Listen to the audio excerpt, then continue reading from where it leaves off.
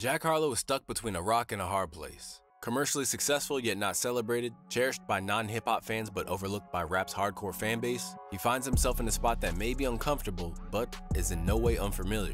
For decades now, white rappers have always tried to make their mark on the culture and be taken as seriously as black rappers. But more often than not, they find themselves frozen in time at the point of their greatest hit. And for the most part, the only way is down because when they're not seen as bringing anything new to the culture and are just rehashing the current trendy sound, i.e., Ian, Lil Mabu, etc., then it's incredibly easy for them to get forgotten. Yet, because they often get more attention than black rappers who are in the same lane and often make more compelling music, it makes people suspicious of them. And if we know one thing about hip hop fans, it's that they don't like being spoon fed an artist by the industry. This, in essence, is what separates an Eminem from a G-Eazy, or an El-P from a Snow, or perhaps a Mac Miller from a Jack Harlow himself, as in the years that have followed the release of what should have been his breakout album in 2022's Come Home The Kids Miss You, the charismatic Kentucky rapper has had a strange road to walk because on the one hand, he's a perfectly passable rapper, and by all accounts, seems like a good guy. But the problem is that when the industry happened to come across this pale-skinned MC with a radio-friendly approach to songwriting and enough riz to spawn viral content online, they inevitably saw dollar signs. And at this point, he fell into the trap that's all too familiar for white rappers.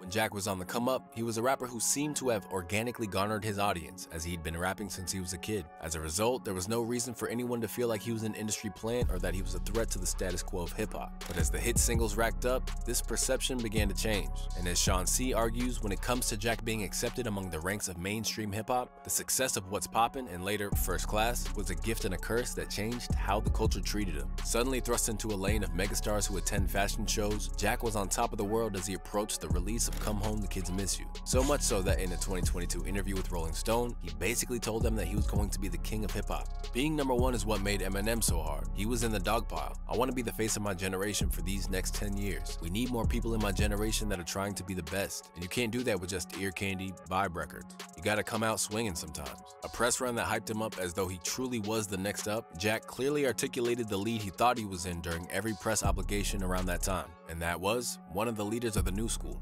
I mean, yeah, absolutely. You know, you get pushed the same way that Cole, Kendrick, Drake, they were keeping each other in mind to some degree Right. over the 2010s and pushing each other. Huge shout out to Doja. You have like Lil Baby. Lil mm-hmm. Baby's amazing. I think Baby Keem has a massive trajectory. There's a lot of good ones. However, what separates Jack Harlow from all the artists he mentioned can't be understated. As with Doja Cat and Baby Keem especially, like them or hate them, they have a distinct sound that is unmistakably them. While when Come Home The Kids Miss You dropped, the sound was so middle of the road that it was hard to pin down his identity at all. Reviewed by Pitchfork in their scathingly negative review as a one-trick pony without a discernible trick, the same review would go on to describe him as a competent rapper who doesn't flow intricately or write impressively, and a pop star who struggles to carry a song on his own. Ouch.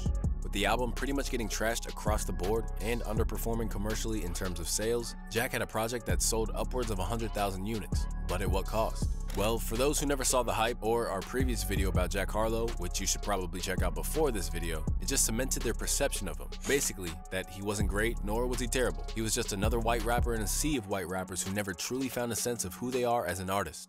For most of 2022, Jack Harlow was inescapable. He was on at least two top hits that I feel like happened last year. There was countless discourse about him online. He won a BET award, made a movie, hosted a college football show, and then quickly laid an egg with his subsequent major release before then disappearing to regroup and figure out what the went wrong. It was an immense musical anticlimax that I think a lot of people saw coming, but more and more people were happy to see happen. Something about Harlow's rise to fame rubbed a lot of people the wrong way. It was a bit of a paradox though, because while Harlow had so much fanfare and hype as well as hate, his actual music was just mid. It was like perfectly in the middle and disposable, which is probably why he didn't go anywhere, but it didn't make sense that he had so much hype and hate in the first place.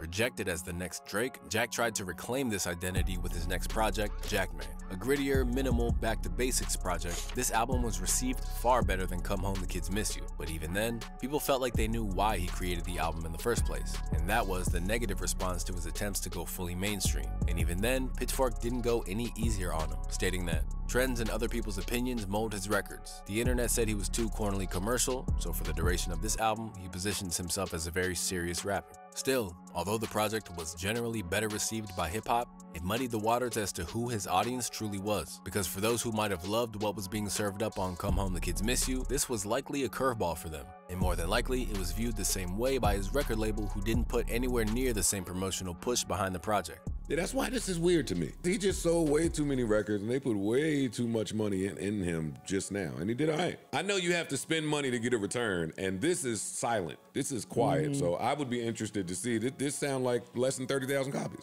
Just as Joe predicted, the album debuted at number 8 on the charts with just 33,000 sales. Yet, without dwelling on it for too long or even touring his new album, Jack would be ushered back into the commercial lane with a song that took six songwriters to produce. Released just seven months after Jackman didn't spawn a single hit, Lovin' On Me became a number one without anyone really understanding what happened. A catchy, radio-friendly pop tune, its rise was so inconspicuous that Yasin rightfully declared that it was the fakest number one ever on Twitter. As for how he did it, the answer, as is always the case with Jack, is that it was nothing new. Instead, it was merely relying on a formula that had worked the last time he scored a chart-topping hit right down to its rollout. Definitely the sample, said Kyle Denis of Billboard. That melody coupled with a beat that feels familiar enough to recall Drake's The Motto, but distinct enough to feel like it's its own entity, makes for a track with several key components to latch onto. More importantly, like First Class, Lovin' On Me finds Jack rapping to the ladies, and there isn't much of that happening in rap music right now. Having used the same kind of TikTok marketing that helped make First Class a hit and focusing on his female fanbase, Jack managed to put himself back on top, and the higher ups at his record label, Atlantic, are likely celebrating. Considering how this formula paid off again, it seems highly unlikely that he'll be given the chance to do a record like Jackman again. Because whether he'd like to accept it or not, three number ones in three years means he's officially a cash cow in the eyes of record labels. But it isn't so much about Jack or his music itself, but because he fulfills a need that the music industry has, as whether they'd like to admit it or not, they're always seeking the next white superstar. When it comes to like the mainstream point of view, most people are like, oh yeah, here's a new one. And they adopt kind of the hip hop style, add nothing to it, move from it, and people kind of forget about him. And then the next one comes in, and do the same thing. With Jack Harlow, I think people look at him as so much more authentic because he is or comes across as such a nice dude. And he seems really respectful for the most part of other cultures and their demographic from what I've seen. Never have I seen that level of personality able to carry someone so far when the music is just so average. There's nothing about it that takes anything farther. I don't know what it is about white artists that just makes it so, yeah, this is the one. When there are a million other of the exact same of this guy that are black that do the same thing and that do it better for the most part.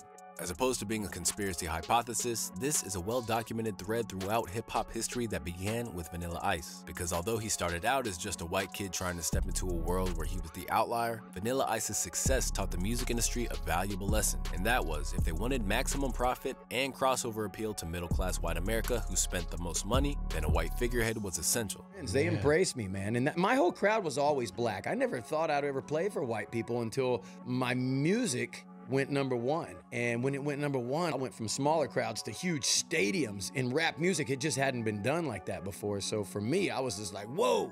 With Ice Ice Baby, the music industry had pulled off a successful experiment and have tried to go back to the well ever since with questionable success. For Ice's part, he admitted back then that his success came to a certain level of manufacturing, as well as his skin tone. Being white helps me, I guess, but I wish it didn't, he told the New York Times. My being white had something to do with it, but not much as they say it does. It depends on the contract you sign with the record company. They can make you number one if they push you enough, but that didn't necessarily mean it was smooth sailing for Vanilla Ice, because while he was the most successful rapper of his ilk, he also set the precedent of being accused of co-opting the culture. Chewed out by Arsenio Hall for lying about his background, Vanilla Ice was one of many white rappers who'd come into hip-hop without ever truly advancing it. Instead, he toed the line of what was popular and reaped the rewards. And while he may have come into the game with the best of intentions, ultimately, money talks.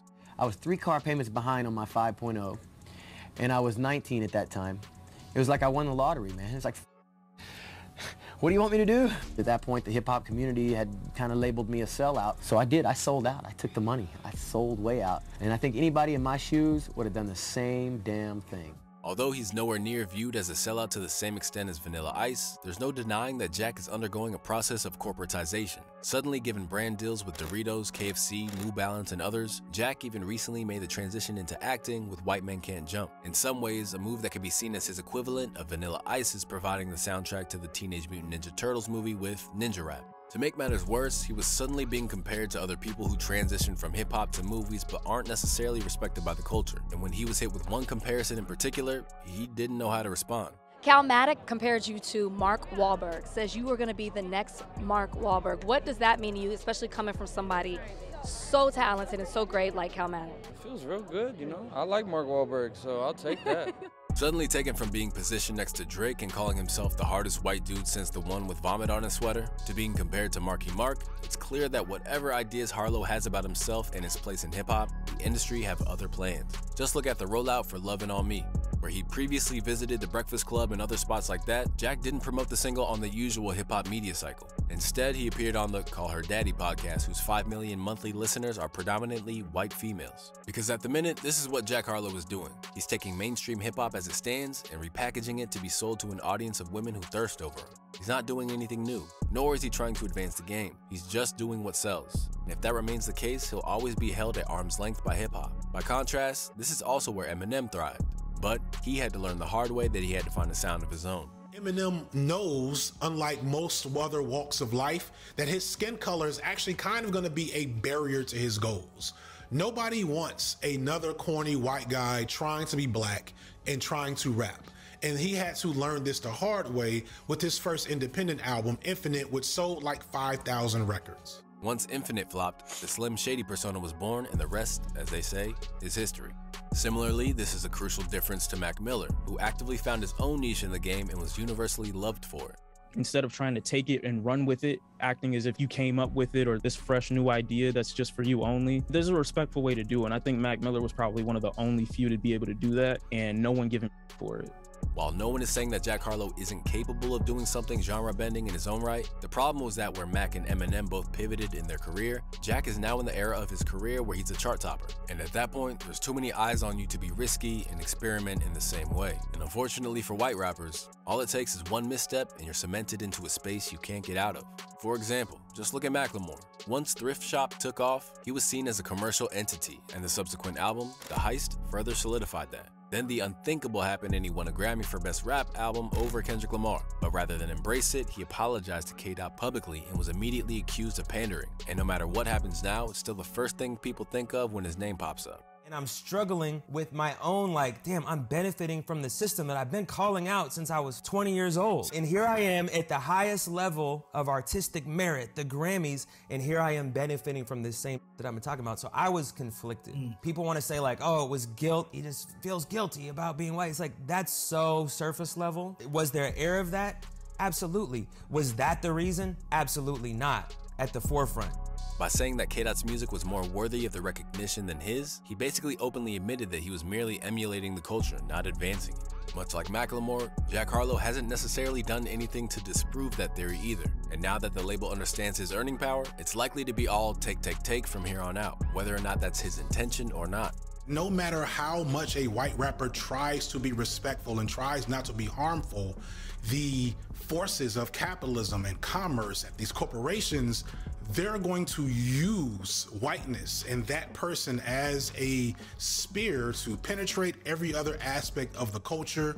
And even as they're just minding their business and trying to make art, the harm will follow them regardless of how hard they try to avoid it. No matter how much effort is being put into the culture, no matter how much genuine talent is present in these white artists, their whiteness will always be the most important and valuable aspect of their art. It legit sucks for them.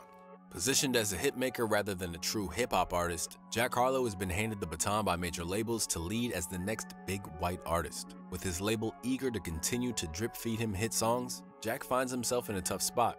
He can either follow the white rapper formula of guaranteed monetary gain, but risk being forgotten in hip hop's history books, or he could dig deep, take a gamble on himself, and break away from the white rapper curse by producing a genuine genre bending album. Only time will tell which path he chooses.